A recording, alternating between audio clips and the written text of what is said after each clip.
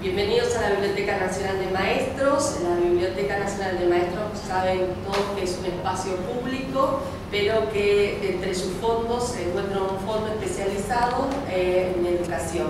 Y de ahí que nosotros tengamos este objetivo o, este, esta misión de llevar a las escuelas diferentes temas o poner en agenda diferentes temas de trabajo justamente coincide que tenemos una muestra en nuestro espacio temporal donde generamos muestras eh, a, nivel artístico de una muestra que la denominamos Tierra, Aire y Mar, TAM.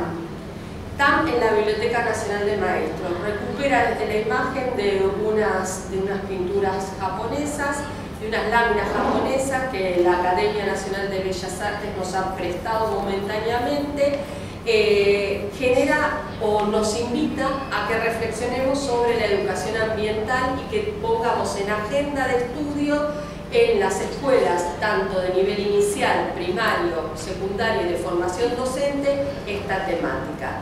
Y ahí ustedes van a ver justamente que se vea reflejado en esta charla, donde ahora ya van a presentarse eh, los expertos que tenemos, la temática de la educación ambiental y empezar a trabajar la educación ambiental en todas las escuelas. En el caso de hoy, eh, nos, eh, vamos a escuchar a dos expertos que trabajan sobre un caso particular, que es el caso de Israel. Por eso agradecemos muchísimo la colaboración de la Embajada de Israel, que con su presencia nos ha permitido también que contemos con estos dos especialistas que nos acompañan.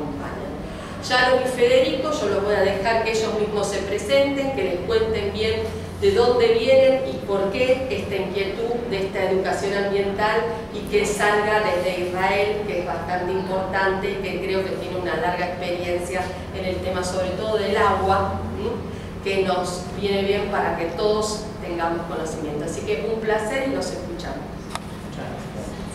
Bueno, eh, yo soy Federico Kremenchuk, soy director educativo en esta organización que se llama Keren Kayemet de Israel. Ahora, en un ratito, nombraremos un poquito más.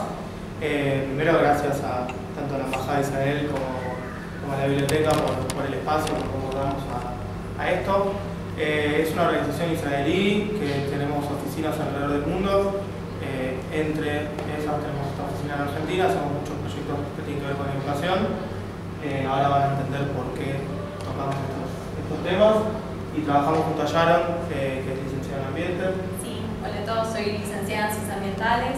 Eh, hace varios años trabajamos juntos con Querer, así que bueno, esperamos que eh, puedan tomar mucho de esta capacitación. Muy bien.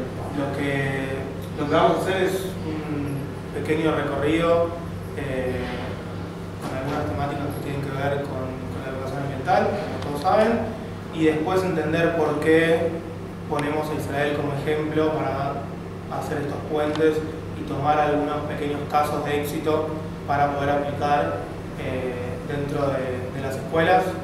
Eh, son todos docentes de... ¿Son todos docentes? Sí, sí. ¿No? ¿Más o menos? Bueno. O, simplemente para conocerlo. Como de educadores. Como educadores eh, en diferentes lugares. Para, para empezar, eh, les voy a pedir si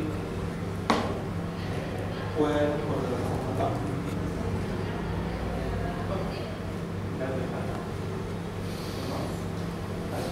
eh, ¿los ¿Tienen celular a mano? ¿Quieren usarlo? Eh, si pueden entrar en el navegador a esa web que tenemos ahí, eh, les va a pedir el nombre, pueden saltear, tienen el botón de saltear porque igual no importa eso y les va a aparecer un casillero para contestar una pregunta.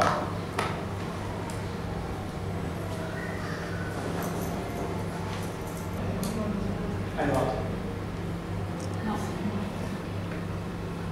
Apúrense una palabra y le dan el...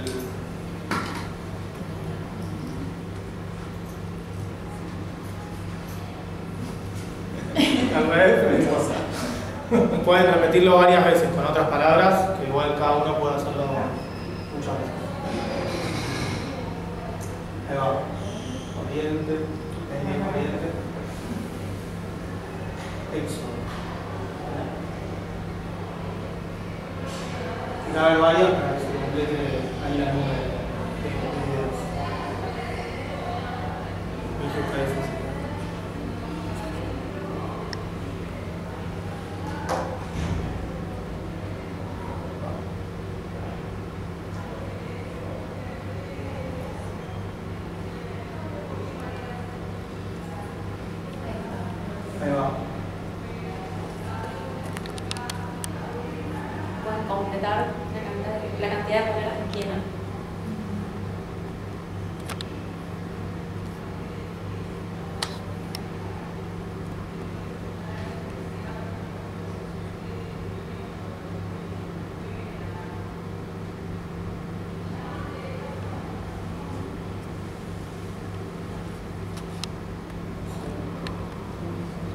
¿Todos pudieron poner alguna por lo menos? Bueno, lo dejamos acá. Si alguno quiere seguir escribiendo mientras hablo, pues no pasa nada y se van moviendo. Eh, es una pequeña forma de tener un panorama de qué representa Israel para este grupo que está acá. A la mañana fue otro, eh, con otras palabras. Las palabras que se van repitiendo se van agrandando y quedan en el centro. Eh, simplemente como para tener ideas de, cosas, casa, oriente, esfuerzo, tecnología, innovación, medio, imagino que debe ser también Medio Oriente, guerra, éxodo, avance, desierto. Vamos a ir avanzando un poquito a ver si, eh, si con lo que nosotros mostramos estas ideas se mantienen o no hasta, hasta el final cargado. Eh, antes de- de arrancar cualquiera de estas charlas que nosotros hacemos, eh, hace una organización israelí, también está bueno. Y elegimos a una figura israelí se llama Shimon Pérez, si lo escucharon en algún momento. Eh, Shimon Pérez fue hasta hace unos años, desde su juventud, eh, participó en diferentes organismos públicos, en diferentes roles, hizo mucho esfuerzo por lograr la paz en Israel y uno de los, de los legados para mí lindos que dejó es esta frase que tiene que ver con el mejorar el mundo. El pueblo judío tiene un principio, un concepto eh, en sus bases, que es, que es el tikkun olam, que es el- mejorar el mundo. Es el concepto para poder mejorar el mundo y hacer acciones para mejorar el mundo. Y lo que él decía es que ese principio no tiene que quedarse solamente en el pueblo judío, sino que hay que mejorar el mundo entero. Y desde ese lado donde nosotros nos apoyamos en estas presentaciones para decir, ok, en Israel se generaron un montón de innovaciones que ahora vamos a ver y conocer, pero no quedan adentro de las fronteras de Israel, salen de las fronteras y esos mismos problemas que hay adentro de Israel en cuanto a recursos hídricos, a los bosques, etcétera, también están en el resto del mundo y se puede compartir ese, ese expertise. Em, Bien, y para empezar entonces a pensar juntos, para ustedes, ¿cómo podríamos garantizar un mundo mejor? ¿De qué manera? ¿Qué se les ocurre? Cuidando el medio ambiente sería. Cuidando el medio ambiente. ¿Qué más? Acciones sustentables. Acciones sustentables. Bien, pero eso ya está, ya empezamos muy orientados a lo ambiental. En realidad podemos primero pensar en los derechos humanos. ¿sí? Si nosotros garantizamos que se cumplan los derechos humanos que son inherentes a todas las personas, independientemente de la raza, el sexo, de la nacionalidad, bueno, ahí podemos decir que nos acercaríamos más a tener un mundo mejor. Podemos mencionar algunos ejemplos como la salud y el bienestar, la educación y el derecho a un ambiente sano que aparece en la Constitución Nacional en el artículo 41 a partir de la reforma del 94, donde, ¿qué nos dice esto? Bueno, tenemos que garantizarnos a tener un derecho a un ambiente sano, equilibrado, apto para un desarrollo y que también no, al satisfacer nuestras necesidades no estemos perjudicando las necesidades de las generaciones futuras. Y acá aparece un concepto nuevo que sería el concepto de ambiente. Cuando empezamos a pensar en qué es el ambiente, hay como muchas ideas dando vuelta. ¿Ustedes con qué lo relacionan? Con lo que respiramos. ¿Con lo que respiramos? ¿Con qué más? La cultura, la sociedad. La cultura, la sociedad, tecnológico. Bien, ¿qué más? Al escuchar Lo que ambiente, nos rodea. lo que nos rodea. Bueno, por lo general a lo largo de los años hubo como una separación entre las sociedades y, y la naturaleza. Entonces empezamos a pensar el ambiente como todo lo que nos rodea, la naturaleza, los ecosistemas. Y esto es un paradigma que tenemos que deconstruir, donde nosotros relacionamos al ambiente como una fuente de recursos naturales. ¿Y para qué usamos los recursos naturales? Para producir la comida, la energía que usamos, para no trabajar, para hacer todo lo que hacemos y tener las cosas que tenemos necesitamos recursos naturales. ¿Y qué hacemos con nuestros residuos? Tarde o temprano vuelven a parar el ambiente. Entonces, hay como una separación entre las sociedades y la naturaleza.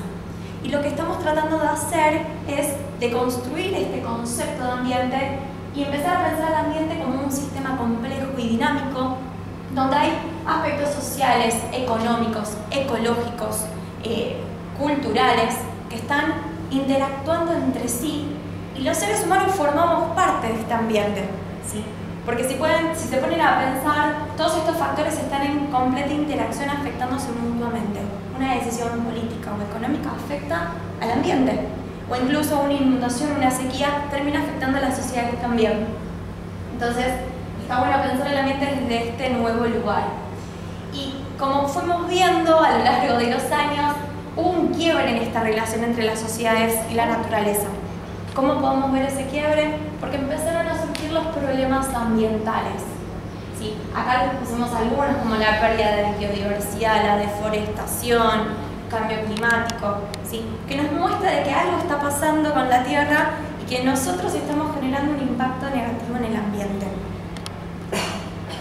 Y una de las principales causas podemos pensar de esta crisis ambiental es a partir del crecimiento de la población.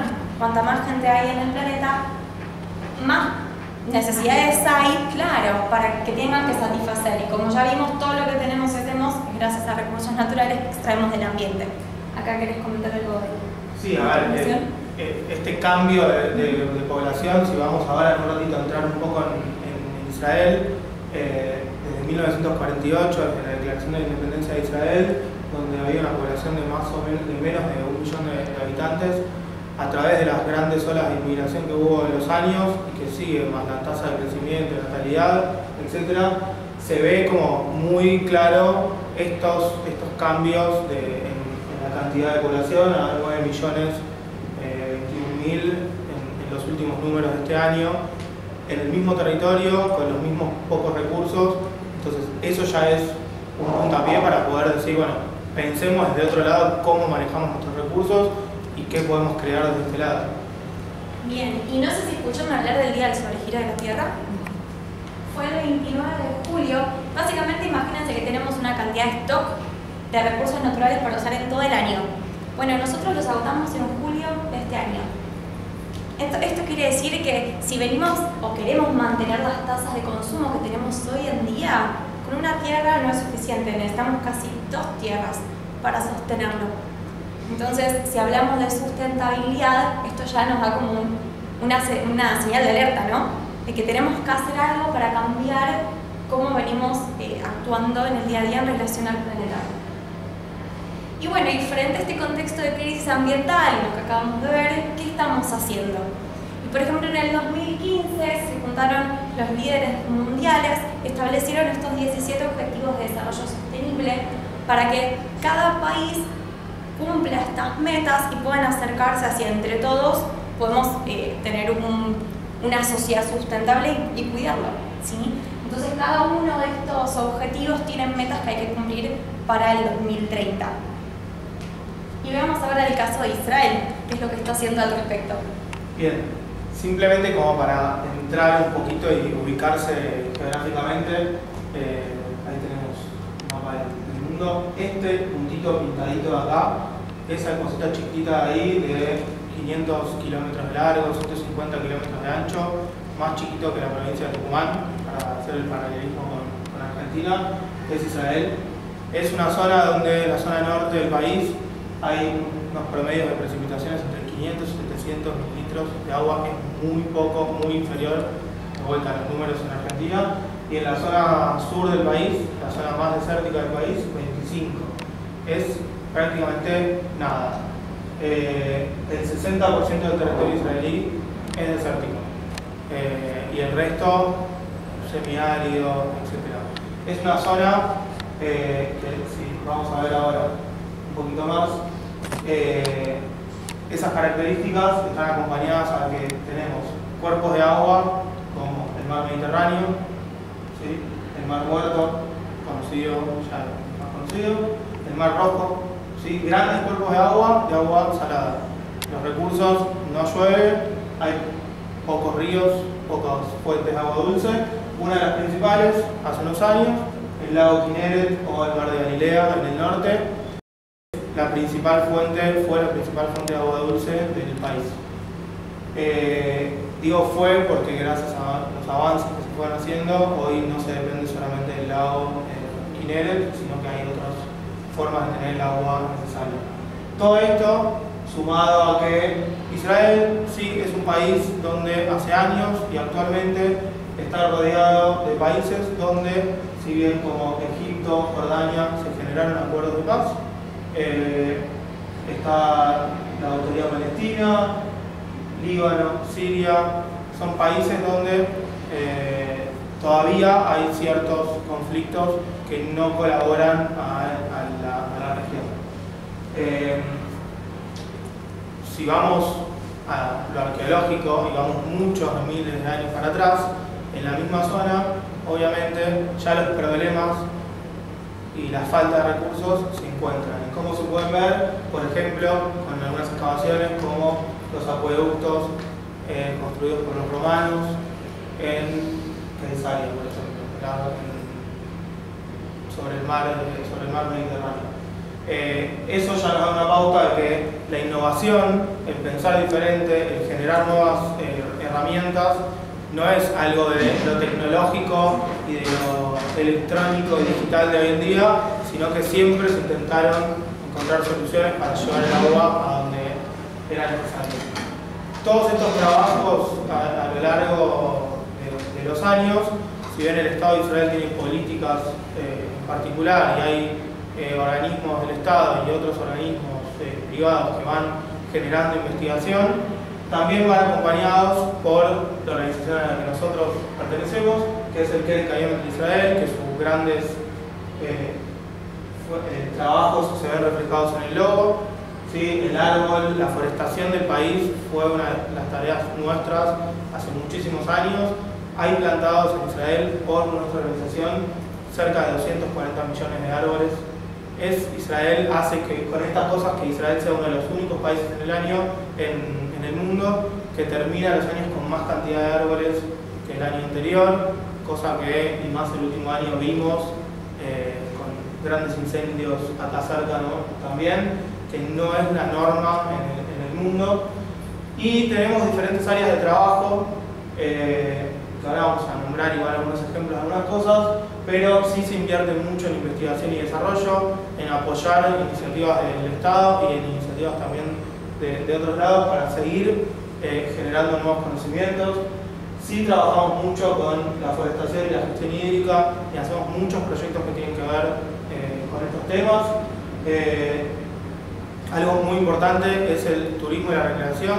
Si bien forestamos, generamos bosques, hacemos un montón de cosas, está bueno que la gente después quiera conectarse con ese ambiente y que no sea simplemente nuestro proveedor de recursos o nuestro depósito, como decía Sharon, sino que seamos parte y poder generar actividades eh, ahí. Y la educación es uno de los pilares fuertes, principalmente en la diáspora, sea, fuera de Israel, como acá en Argentina, hacemos un montón de actividades con escuelas, con jóvenes, con adultos, para tratar estos temas y poder llevar por lo menos un poquito del ejemplo israelí a la práctica cotidiana del día a día, como charlas Em, y este trabajo se ve reflejado, les algunas imágenes donde transformamos estos entornos de, la, zona, el Valle de Jula, un lugar en el norte del país, donde hace unos años un pantano que se empezó a secar y a, y a, perder todo el la diversidad de, la zona, se trabajó, se recuperó y hoy encontramos paisajes como estos, donde millones y millones y millones de aves en sus eh, vuelos migratorios de, un continente a otro frenan todos los años entre diciembre y marzo en este lugar a descansar eh, y a seguir su viaje de migración. Esto fue gracias al trabajo de regenerar la zona y de que sea un lugar donde ah, volvió a haber vida. Eh, lugares desérticos que se convierten en grandes bosques, vamos a ver un ejemplo en un ratito, o lugares como en el norte del país, el monte Gilboa se llama, donde era una zona, si bien el norte del país dijimos, es una zona con un poco más de, lluvia, tampoco es que, que, abunda, que se convierten en lugares habitables y lugares donde la gente pueda ir y disfrutarla y ser parte de ese entorno eh, también. Vamos a ver algunos ejemplos que tienen que ver con dos temas, con el agua y con los bosques, parte de nuestros fuertes y donde nuestros esfuerzos de trabajo y económicos eh, los destinamos. Algunos ejemplos tienen que ver 100% con el Kayemet y con la organización que hace estas cosas y otros son simplemente innovaciones israelíes o de alguna empresa israelí que, que las está haciendo. Eh, para nombrar algunas, en algunas ciudades se comenzaron a construir estas estructuras que son biofiltros, con elementos materiales que ayudan a filtrar el agua. Eh, se están haciendo algunas pruebas para ver qué es lo que va a pasar con esto. Grandes reservorios de agua, estos piletones de agua que son capaz conocidos en otros lugares también del mundo, son muy importantes en Israel, eh, donde parte, por ejemplo, del acopio de agua de lluvia eh, se, genera acá y después se usa ese agua para regar los campos y tener una agricultura en lugares donde sería posible sin tener este, esta cantidad de agua. Eh, la desalinización de agua marina, hay grandes plantas desalinizadoras en Israel, es un proceso muy caro, pero gracias a, por ejemplo, estas cosas, el país también deja de depender de su único lago y su única fuente de agua dulce en el norte, sino que tienen, como vimos, grandes cuerpos de agua eh, salada alrededor. Hay que aprovechar y encontrar las formas para, para poder tener el agua necesaria. El río Porroteo. ¿Lo conocen? Sí, hay María haciendo. Río Porroteo es una de las innovaciones más conocidas y que más fronteras traspasó, creo yo, eh, y simboliza muchísimo esta, esta lucha y esta necesidad de crear una, una innovación y un manejo sostenible de los, de los pocos recursos. Eh, ¿Escucharon hablar de los kibutzim, el kibutz? En algún momento el kibutz es una forma de vida agrícola, una comunidad agrícola que se creó en Israel a principios de 1900, donde gente se reunía en comunidades a empezar a vivir de una forma más conectada con la tierra, eh, más compartida. Eh, cerca de 1960, un ingeniero agrónomo en uno de esos kibutzim vio un árbol que tenía mucho más crecimiento que otros árboles vecinos simplemente investigando vio que había un caño pinchado en esa zona y que era una forma de entregarle el agua que necesitaba y cuidar más a un árbol que al otro. Con investigaciones y unos años después se creó Netafim, que es una de las empresas que hizo este sistema de riego por goteo. Son los tubitos con las gotitas que van cayendo.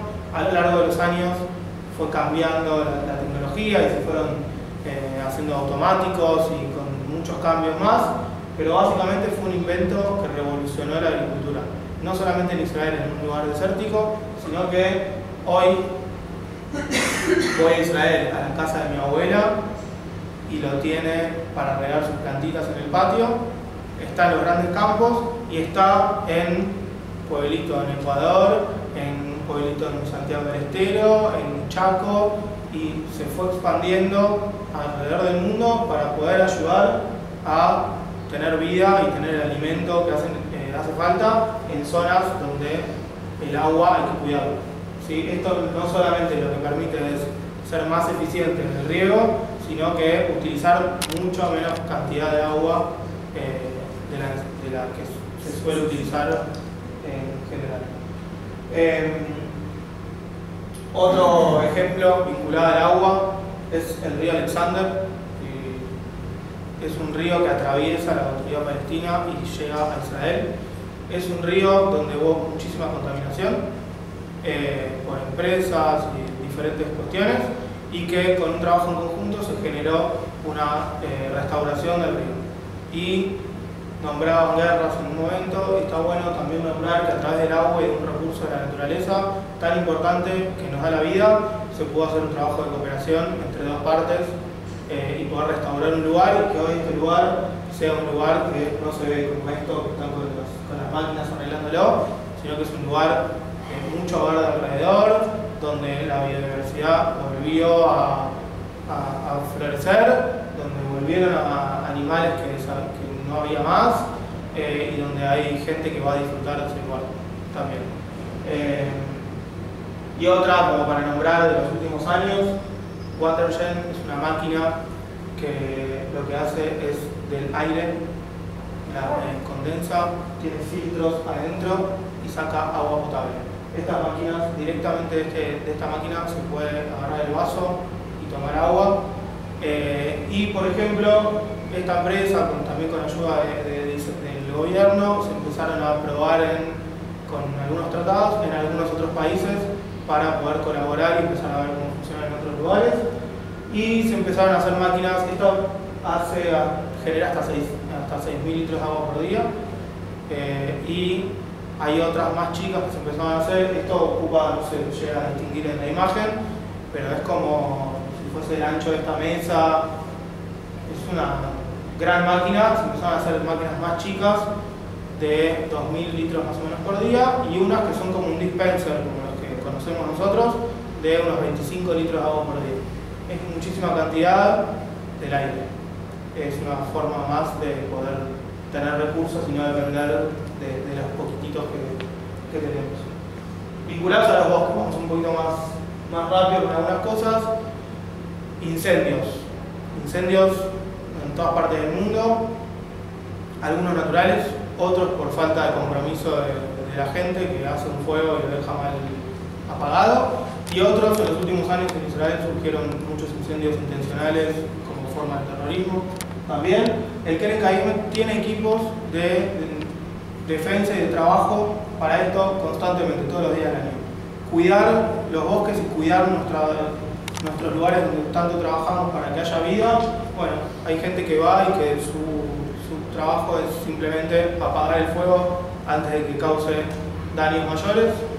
Eh, conectar a la gente con los bosques es parte también de, de la educación.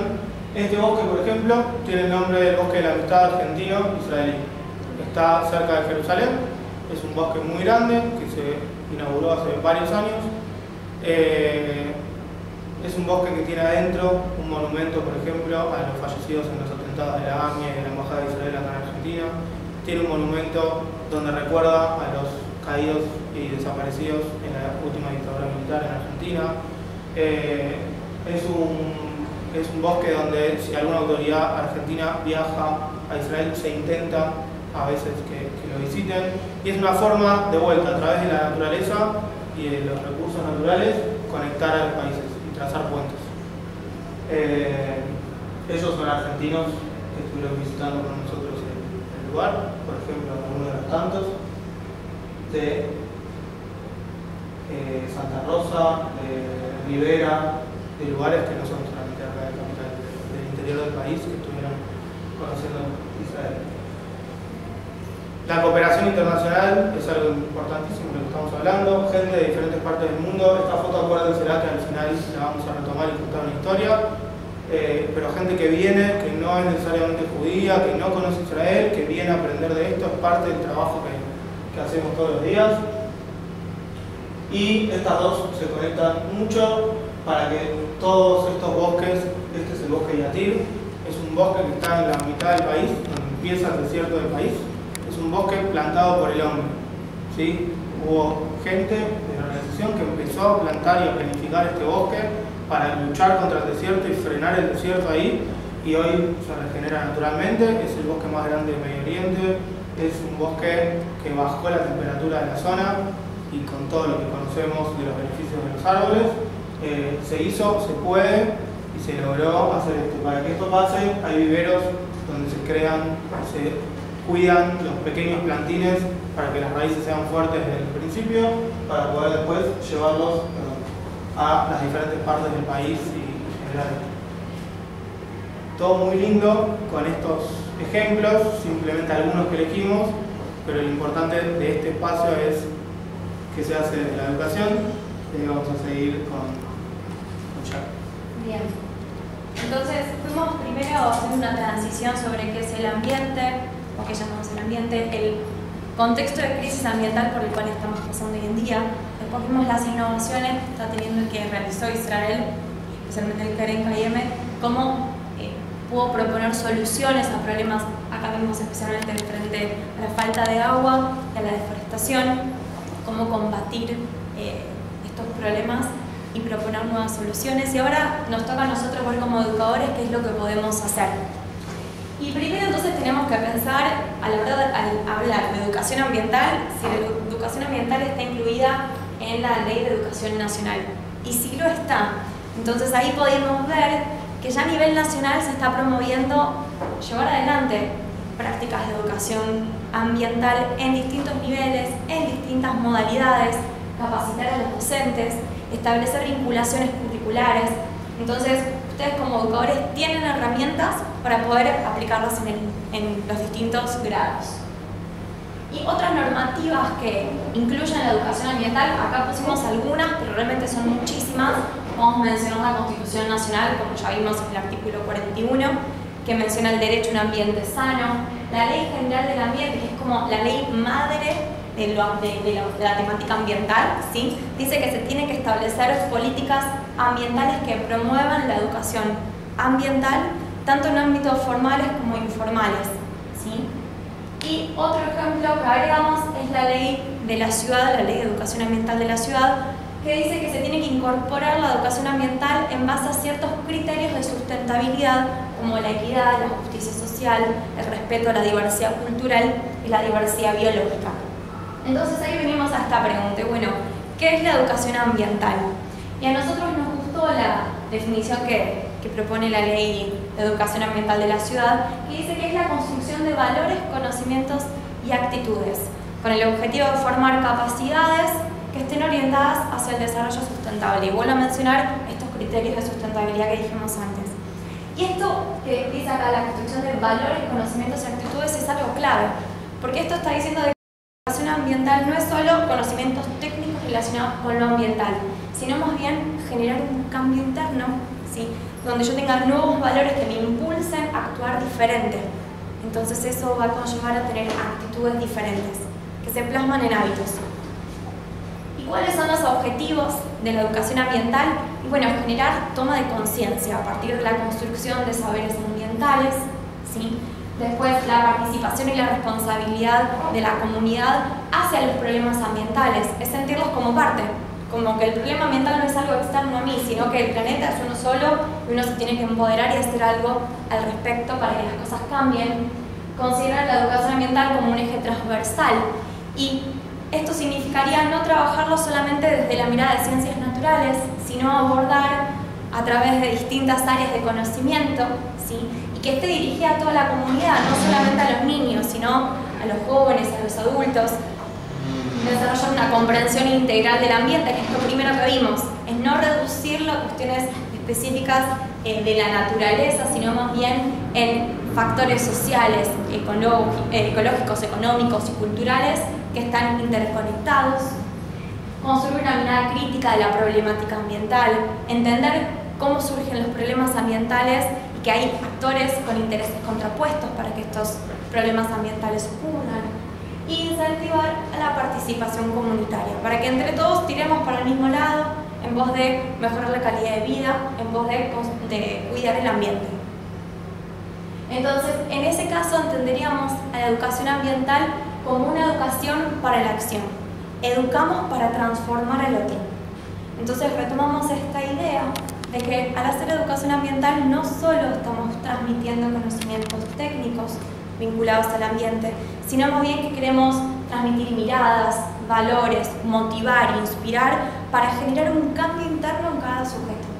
Entonces, en ese sentido, la educación ambiental busca generar espacios de reflexión, construir nuevos valores y generar un cambio de racionalidad, un cambio en la mentalidad que después se va a ver plasmado en un cambio de actitudes. Por eso es que hablamos de una educación eh, ambiental como una formación ciudadana. Estamos formando ciudadanos al hacer educación ambiental. Y para ir terminando este bloque, es importante saber que hay vinculaciones curriculares que hacen que la educación ambiental no nos complejiza la actividad en el aula, sino que podemos vincularla con los NAP, podemos vincularlo con las, eh, los diseños curriculares de cada jurisdicción.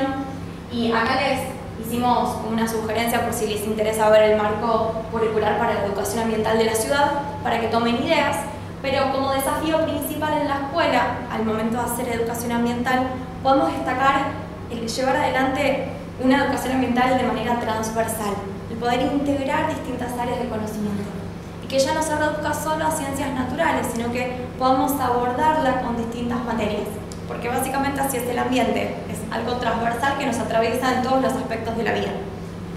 Así que ahora les vamos a contar qué hacemos en el Eh, como les decía antes, desde la organización donde venimos nosotros, acá en Argentina tenemos diferentes proyectos educativos que trabajamos principalmente con las escuelas de la red escolar judía, eh, pero que hay algunas cosas que encantado el que, el que quiera material y estar en contacto para, para poder usar el ejemplo israelí, eh, bienvenido sea.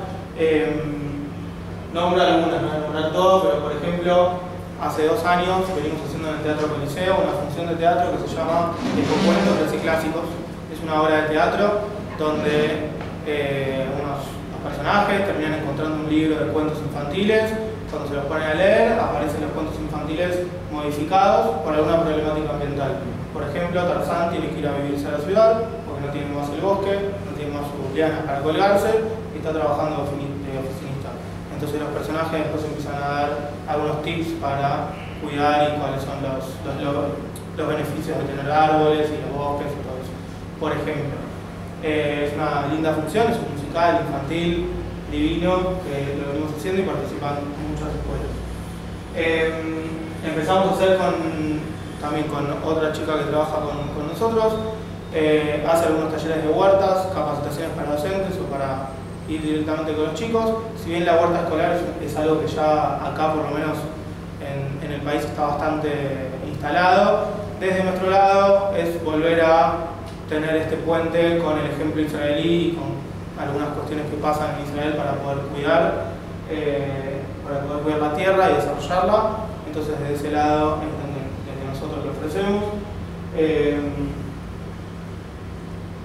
si hablábamos de conectar con, con, con, la tierra y con la responsabilidad por el desarrollo, muchas escuelas, por ejemplo, regalan un certificado de plantación de un árbol en Israel a sus egresados cuando terminan la escuela y eso tiene que ver un poquito también con esto de, de, la pertenencia y de por lo menos hacerse cargo de, de, algo. Si bien no fueron, ojalá nos encantaría que todos viajen y lo planten o que se puedan plantar acá también. Eh, por lo menos desde lo simbólico empezar a tener en, la mente que por alguna situación especial también está bueno homenajear desde ese lado y no con, eh, con algo material. Eh, hacemos muchas charlas con adolescentes, jóvenes van a ser próximamente líderes o que se están formando eh, sobre estas temáticas y poder reflexionar sobre esas temáticas. Y un proyecto muy lindo que el año que viene vuelve a, a flote con unos cambios muy, muy, muy grandes. Se llama Gesher de Israel, puente con Israel en, en hebreo. Eh, hay una serie de cuadernillos de actividades ya armadas sobre el agua y sobre los bosques, son dos cuadernillos eh, que hacemos todo un recorrido didáctico para que puedan abordar estos temas desde diferentes lugares. Por ejemplo, en el del agua empieza hablando sobre el agua y la importancia del agua para la vida, eh, que lo puede trabajar alguien de ciencias naturales. Eh, más adelante, cómo está el agua distribuida en el mundo, o cuál es el agua como, como derecho humano, y alguien capaz de sociales puede trabajarlo desde ese tema. Eh, y después hacemos estos puentes con innovaciones que surgieron en Israel y que se pueden utilizar para eh, cuidar este recurso tan importante y aprender desde ese lado. Y volvemos a lo que hicimos recién, generar acciones. Y aparece toda una parte de consumo responsable eh, y de qué pueden hacer los chicos o sus familias o en la escuela para poder cuidar el agua, por ejemplo. Eh, y son, son muchas cosas que vamos haciendo de este lado. Muchos ejemplos, nombré muchas cosas, pequeños, pequeñas cositas ahí dando vueltas, como para usar y entender que un país, como veíamos hace un ratito, de pocos kilómetros de, largo, pocos kilómetros de ancho, donde tiene grandes cuerpos de agua salada que no son las, las que necesitamos para la, para la vida, donde los recursos de agua dulce son limitados, un territorio rodeado de conflictos eh, hace años y esperemos que no mucho tiempo más. Eh, esa, esa realidad de incomodidad, de, de- de decir hay que poder vivir acá, hizo que el país, eh, no solamente de nuestra organización, sino que de las políticas también de- de- del país, se generen un montón de, alternativas para poder crear estas innovaciones. Eh, y hace un ratito les mostré esa imagen que estaba acá abajo que les dije que íbamos a retomar. Eh, Miki, vos ya la la historia. Eh, acá tenemos el, ¿sí? mapita de, de Israel. De este lado está Jordania, de este lado está Egipto, ¿sí? como para ubicarse un poco. Dijimos que más o menos desde la mitad del país para abajo es la zona desértica del país. Y desde más o menos para acá, para abajo, todo es un choricito así, se llama, es el desierto de la Arabá, se llama. Que está dividido en tres partes, norte, centro y sur. ¿sí? La central es la que está marcada. Son muchos pueblitos eh, chiquitos, uno al lado del otro. En uno de ellos hay un gran centro de investigación y desarrollo. Gran, gran, gran centro de investigación, tiene un centro de visitas para que los que viajan puedan ir y conocerlo y tiene un lugar donde va gente de diferentes partes del mundo a estudiar hasta 10 meses en Israel. Gente que, repito, que no necesariamente tiene una conexión con Israel, que no necesariamente es judía, que no necesariamente viene de algún país donde la comunidad judía es grande, sino que son países donde tienen dificultades similares a las de Israel en cuanto a sus recursos. Y vienen a estudiar ahí para poder llevar sus eh, conocimientos y cambiar y modificar la realidad de las comunidades donde viven. Obviamente esta zona se terminó convirtiendo en un lugar también turístico, al poder ver donde, estás caminando en el medio del desierto y tenés estas plantaciones, por ejemplo, es al centro de investigación este, vienen, por ejemplo, de estos países a estudiar, que nos ha pasado, por ejemplo, de estar en charlas con chicos de primaria, de secundario, nombrar algo de esto, que nunca hayan escuchado estos países, salvo capaz Nigeria cuando Argentina juega en el Mundial, suele pasar bastante seguido, eh, y que son países que tienen algunas realidades similares en cuanto a sus recursos. Y acá está la foto que les contaba. Estos proyectos tienen varios beneficios, entre ellos, obviamente, generar vínculos con Israel, que no sea solamente como apareció al principio, que Israel es guerra o Israel eh, es conflicto, sino que empieza a generar a través de la naturaleza, a través del aprendizaje de, de cómo manejar los recursos naturales, otro tipo de relaciones públicas. Empieza a desarrollar obviamente la periferia de Israel, que son los lugares donde más cuesta desarrollarse, y obviamente el gran objetivo es el empoderamiento de esos países y esas comunidades a las que vuelve toda esta gente después con el conocimiento que adquirieron en Israel. Eh, hace unos años tuve la posibilidad de visitarlo, nos recibió Samantha, una colombiana que dejó todo en su país y se fue a vivir ahí, a trabajar en ese lugar y recibe a las visitas.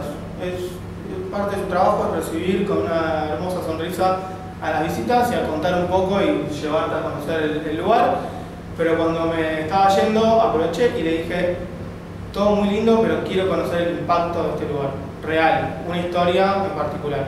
Me mandó algunas historias para leer, mínimos eh, testimonios, Y una que encontré es de dos personas que vinieron de este país, de Myanmar, ¿sí? acá está Israel, para que se ubiquen en el mapa, eh, que se conocieron en Israel, no se conocían de su país, se conocieron en Israel, estudiando en este pequeño centro de investigación, en el pequeñito desierto del Arabá, y volvieron a su país, cambiaron y modificaron la realidad de las comunidades y de las ciudades, de los pueblos donde vivían, con el aprendizaje que tuvieron, pero también tuvieron un hijo, ahora ya de más años, eh, también tuvieron un hijo y le pusieron Arabá en su segundo nombre.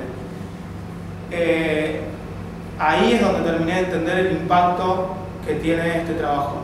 Que puede ser muy lindo transmitir las innovaciones, puede ser muy lindo llevar un río por goteo para otro lugar y todos los beneficios que conocemos, pero también le modificó la vida a la vida que ellos dieron. ¿sí? Eh, si eso no es entender el impacto que tuvo de ponerle a su hijo, que lo va a llevar de por vida, el nombre de este pequeño lugar en Israel, ahí con eso terminé de entender este, este impacto que tuvo para esas dos personas que vinieron a conocer y aprender del éxito en Israel en, este, en estos temas. Y cómo el conectarse con la naturaleza de otra forma terminó modificando la vida eh, a otras